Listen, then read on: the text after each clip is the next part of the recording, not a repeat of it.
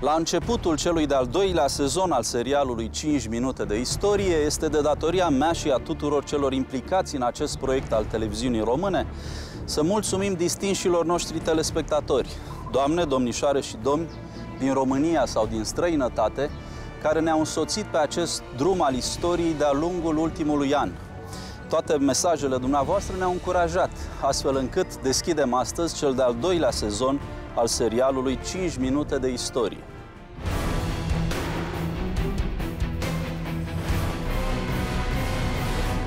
De-a lungul ultimului an am văzut împreună că istoria rămâne o poveste frumoasă chiar și atunci când vorbește despre crime, despre drame umane sau despre catastrofe naturale sau politice.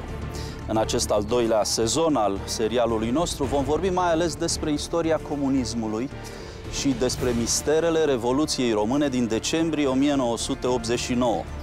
Iar în episodul de astăzi vă pun dumneavoastră telespectatorilor o întrebare. Este oare istoria comunismului sau istoria în sens larg o știință? Atunci când îi întreb pe studenții mei dacă istoria este o știință sau nu, majoritatea sunt tentați să răspundă afirmativ. Dacă studiază epoca mareșalului Ion Antonescu sau perioada celui de-al doilea război mondial, dacă cercetează arhivele epocii Gheorghe Gheorghiu Dej sau dacă urmărește drumul sinuos al regimului comunist până în anii lui Nicolae Ceaușescu, istoricul trebuie să se comporte ca un om de știință.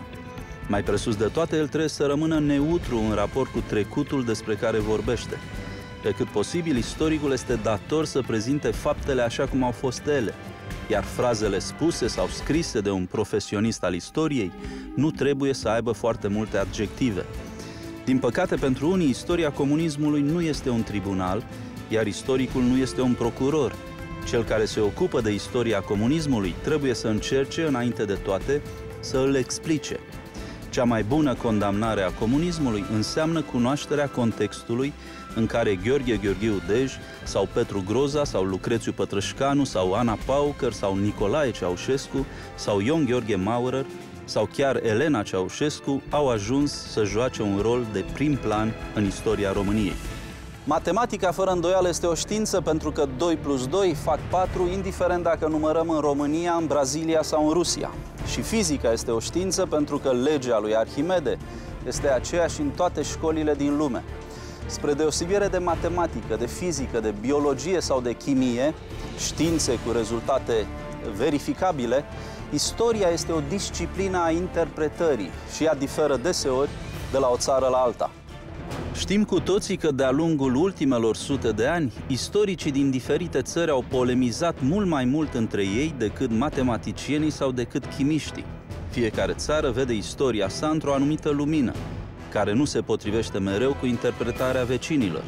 Să luăm de exemplu persoana lui Petru Groza, la București, astăzi, el este văzut ca un politician oportunist care a făcut jocul comuniștilor și a devenit premier în luna martie a anului 1945, cu sprijinul direct al Moscovei.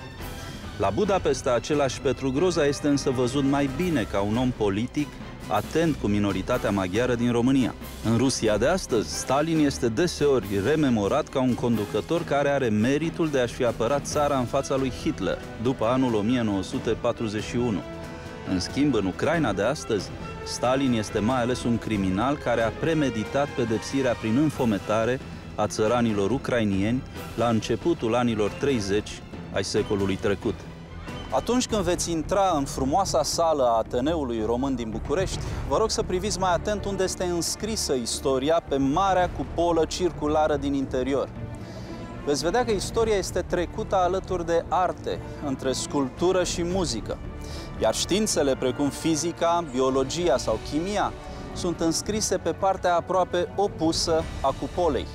Ca și sculptura sau muzica, istoria este și ea o artă a interpretării.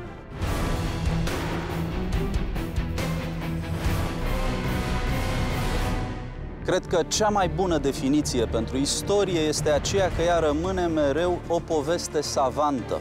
Istoria în general sau istoria comunismului în particular nu au unități de măsură. Desigur că toți istoricii vor să descopere adevărul, dar spre deosebire de matematicieni sau de biologi, istoricii știu foarte bine că adevărul lor va fi mereu contestat sau reinterpretat de alți istorici. Din acest motiv, morala poveștii noastre este aceea că istoria, ca și viața noastră, rămâne mereu o carte deschisă cu pagini nescrise. Iar până la întâlnirea noastră viitoare, nu uitați că istoria rămâne o poveste frumoasă, mai ales pentru oamenii inteligenți.